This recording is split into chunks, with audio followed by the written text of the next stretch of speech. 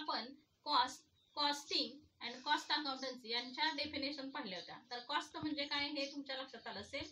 It is the amount of expenses incurred on given things तर आजच्या लेक्चरला आपण objective and functions of cost accounting याचा अभ्यास करणार आहोत. Cost accounting was developed to overcome the limitations of financial accounting financial अकाउंटिंगमध्ये ज्या लिमिटेशन्स आहेत त्या दूर करण्यासाठी कॉस्ट अकाउंटिंगचा अभ्यास केला जातो. In early days the object of cost account is to ascertainment the cost of goods and services in modern days the objective of cost account is increased they are as follows पूर्वीच्या काळी फक्त cost अकाउंटिंगचा उद्देश हा cost निश्चित करणं हा होता.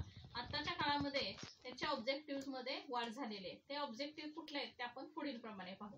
First objective आहे cost ascertainment the prime objective of cost account is ascertain the cost of product of each unit, job, process, department and other segment of organizations. In other words, the main function of cost account is to provide timely and reliable information about the price and qualities of input of cost and output of cost. बघा तर prime objective of cost अकाउंटिंगचा काय आहे? To ascertain the cost of product of each unit प्रत्येक unit असेल job असेल process असेल department असेल त्याची कॉस्ट निश्चित करणं ठरवणं हा पहिला ऑब्जेक्टिव्ह आपला कॉस्ट अकाउंटिंगचा आहे.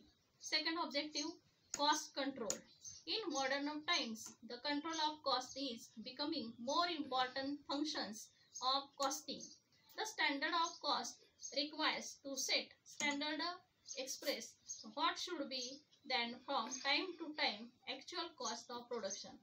दुसरा ऑब्जेक्टिव्ह आपला महत्त्वाचा आहे की प्रत्येक प्रोडक्टची किंवा फंक्शनची कॉस्ट निश्चित करणं. म्हणजे कॉस्ट भविष्यामध्ये त्याची काय असेल हे अगोदर निश्चित करणं एखाद्या प्रोडक्टची हा आपला दुसरा ऑब्जेक्टिव्ह आहे. थर्ड ऑब्जेक्टिव्ह आहे help in managerial decision making the main function of management to every concern is to help management in decision making decision making is the process of selecting the best alternatives among various alternatives to take the decision buy or make product. बघा मॅनेजमेंटच्या फंक्शनचा आपण पाठीमागच्या वर्षी अभ्यास केलाय. तर मॅनेजमेंटची फंक्शन्स काय? ऑर्गनायझिंग स्टाफिंग डिसिजन मेकिंग तर महत्वाचं फंक्शन काय? डिसिजन मेकिंग आणि मॅनेजमेंटला डिसिजन मेकिंग म्हणजे निर्णय घेण्यासाठी मदत करण्याचं काम हे कॉस्ट अकाउंटिंग करतं. यामध्ये आपण सांगितलंय बाय और मेक प्रोडक्ट एखादं प्रोडक्ट आपल्या फॅक्टरीमध्ये तयार करायचं का दुसऱ्या फॅक्टरीमधून ते बाय प्रोडक्ट विकत घ्यायचं. म्हणजे सब पार्ट हा डिसिजन घेण्यासाठी मॅनेजमेंटला कॉस्ट अकाउंटिंग मदत करतं. Fourth evaluation of operating efficiency cost accounting records cost of various product process operations departments from this it enables to management to comparison of inter firm and other firm cost accounting काय करतं? तर record केलं जातं कॉस्टिंगमध्ये प्रत्येक प्रोडक्टची cost काय असेल? प्रोसेसची ऑपरेशनची डिपार्टमेंटची त्यामुळे मॅनेजमेंटला कंपॅरिझन करणं इंटर फर्म कंपॅरिझन म्हणजे फर्ममध्ये प्रत्येक डिपार्टमेंटचं एका डिपार्टमेंटचं दुसऱ्या डिपार्टमेंटमध्ये कंपॅरिझन डिपार्टमेंट बरोबर कंपॅरिझन करणं. किंवा त्याच प्रकारचा व्यवसाय करणाऱ्या दुसऱ्या फर्मशी कंपॅरिझन करण्यासाठी त्या कॉस्ट अकाउंटिंगचा उपयोग केला जातो.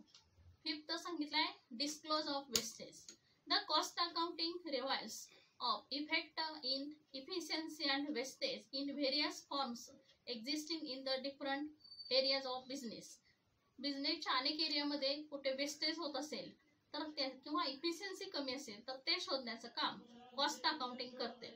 Such as wastage of material labour expenses ideal capacity under utilization of plants equipments etcetera म्हणजे बघा त्यामध्ये असं सांगितलंय त्यांनी डिफरंट एरिया ज्या बिझनेसच्या आहेत त्यामध्ये वेस्टेज ऑफ मटेरियल कुठं असेल? वेस्टेज ऑफ मटेरियल इक्विपमेंट हे कुठे असेल ते पाहिले जातं. आणि हे समजल्यामुळे मॅनेजमेंटला त्याच्यावर रिमेडिकल म्हणजे त्याच्यावर उपाय करता येतात. Six point other objective to utilize sources of economy in the production process to provide an effective system of materials and storage to provide necessary information to develop standard cost and exercise the system of budgetary control. बघा इतर उपयोगामध्ये आपल्याला असं पाहता येईल to utilise sources of economy म्हणजे economical condition कशा आहे? किंवा त्याचा पुरेपूर वापर कसा करायचा भांडवलाचा? हे पाहण्यासाठी कॉस्ट अकाउंटिंग उपयोगी येते. To provide effective system of material and stores material system किंवा ते मटेरियल स्टोअर कसं करायचं? कसा त्याचा वापर करायचा? ह्याच्यासाठीही कॉस्टिंगचा उपयोग केला जातो. To provide necessary information to develop standard cost and exercise the system of budgetary control तर याच्यामध्ये असं सांगितलं की टू डेव्हलप स्टँडर्ड कॉस्ट म्हणजे आपल्या प्रोडक्टची कॉस्ट काय असेल हे निश्चित करण्यासाठी आणि बजेटरी कंट्रोल बजेट तुम्हाला माहिती आहे कन्सेप्ट तर ती बजेटरी कंट्रोलची सिस्टीम वापरण्यासाठी या कॉस्टिंगचा उपयोग केला जातो. To assist the studies and investigation such as pricing of new product नवीन प्रोडक्टची प्राइस निश्चित करणं. Services expenses or construction of project एखादा प्रोजेक्टचं कन्स्ट्रक्शन चालू असेल तर त्याची प्राइस निश्चित करणं. Changes the methods of production and distribution प्रोडक्शनच्या डिस्ट्रीब्युशनच्या मेथडमध्ये चेंज करणं. हेही आपल्याला कॉस्ट अकाउंटिंगचे ऑब्जेक्टिव्ह दिसतात आपल्याला. आपण